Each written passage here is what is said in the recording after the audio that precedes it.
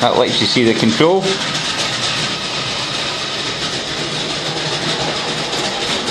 And I've now got a set coming round at just a little more speed.